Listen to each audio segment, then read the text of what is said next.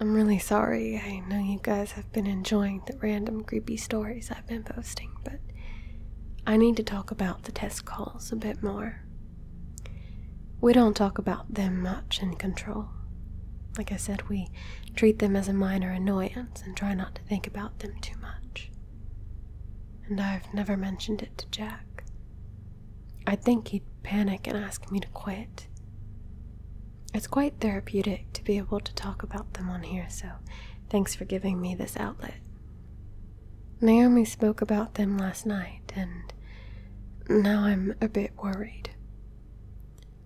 She's been working in control for six months, so she's still settling in. I see my colleagues so much thanks to crappy night shifts and a shared sick sense of humor that they're practically family. But Naomi has always been a bit quieter. She nearly quit after her first test call, apparently, but they convinced her to stay. It was just the two of us in the kitchen at about two in the morning. I'm one of those weirdos who can eat a cooked dinner anytime, so I was shoveling microwave macaroni and cheese into my mouth while she drank coffee.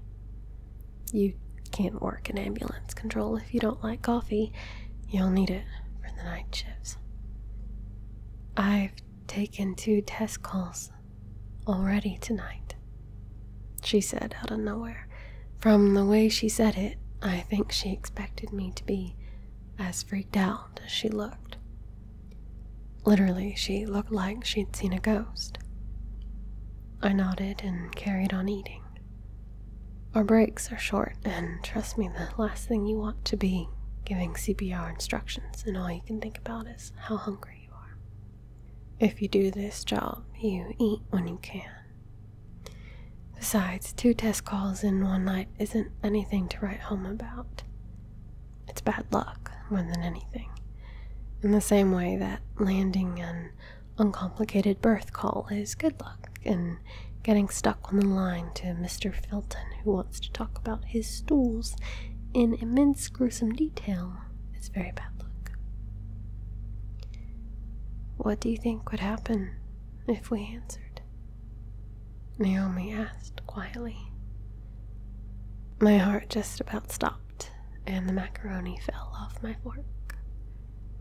We don't talk about test calls, never mind the possibility of answering.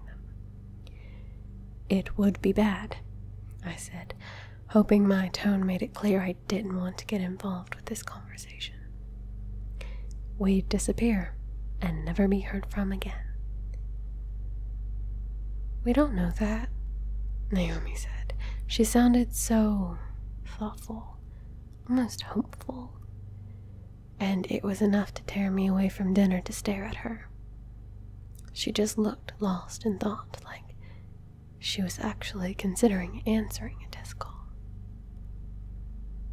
No one's disappeared since either of us started, have they? Maybe it's all just a prank. It'd be a sick prank, I muttered. I don't like where this conversation was going. Getting shivers just thinking about it now. They prank everyone, Naomi replied matter of factly. She has a point, after my first emergency call for something simple like a broken leg, I think, the dispatcher came over and told me the crew arrived and found the patient dead. They hadn't, of course, but I thought I'd killed someone on my first day. Like I said, sick sense of humor. It's pretty much mandatory. I didn't want to talk to her about it. The test calls creep me out more than I'd like to admit. I deal with death on a daily basis. I've listened to people's last breaths and been the final person they ever spoke to. I'm not a wimp, but it's unsettling. You do always have that little chill down your spine when you hear the beep in your ear of a new call coming in. Just in case it's a test call, your breath catches in your throat, your chest constricts, and that is constant. We can take upwards of a hundred calls per handler in a 12 hour shift. That's a significant part of your day, having a minor panic attack until you hear a human voice on the other end of the line. I suddenly felt really sick after that. I think the conversation killed my appetite stone cold dead, so I chucked the rest of my dinner in the bin and left the kitchen. I didn't say another word to Naomi, even after she came back from the kitchen. The queasiness didn't pass. My stomach made an ungodly noise, and I came off the call just in time to throw up in the bin next to my desk. That was the end of the shift for me. Will, the control manager for that evening, came over and told me in no uncertain terms to head home. Ambulance control isn't your average office. It's a gray walled, windowless box where time ceases to exist, and if one person gets a bug, everyone gets it. They don't take any chances with vomiting. I've been sent home in a strict 48 hour exclusion period. I didn't even acknowledge Naomi as I left. She pissed me off with all her test call talk. I'm sure it's her fault I threw up. I didn't feel queasy at all until she started talking about it. I got in the car and drove home at 3 in the morning, feeling like shit. I could have done with venting about it to Jack, but that would have involved waking him up and explaining the entire test call saga. I'm not ready to do that yet. So that's where I am now, updating you all from my sickbed. Not a huge amount to report, other than feeling like crap and a weird colleague with an apparent death wish. Maybe the vomiting was fate intervening to save me from finishing the shift with Naomi. It would have been really awkward. I must have built up some good karma from all the calls I've taken. A stomach bug isn't my usual idea of good karma, but who are we to question fate? So far, I've been a model patient. I've quarantined myself from the rest of the world. I'm eating dry toast and keeping myself hydrated. And I haven't called 999. That's more can be said for most of the population. I'm not feeling sick anymore, so I think it's just one of those 24 hour bugs, and I'll be fighting fit and ready to start mentoring my newbie next week. Could the test calls be a prank? I don't really want to take the risk and find out, but it'd fit in with the sick sense of humor they all have.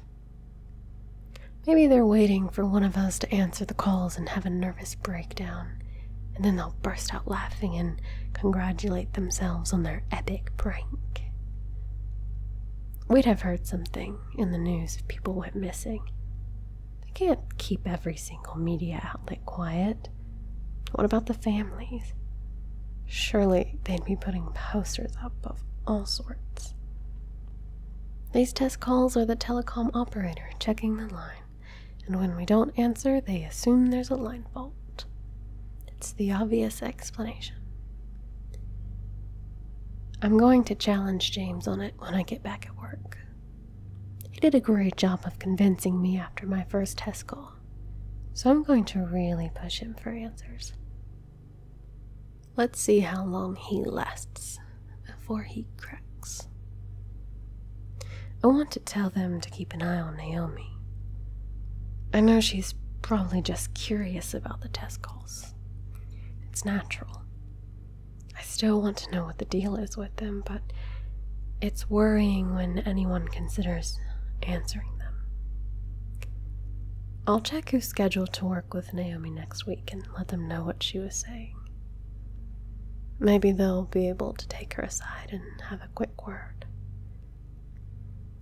I'll update you all on what James says when I'm back at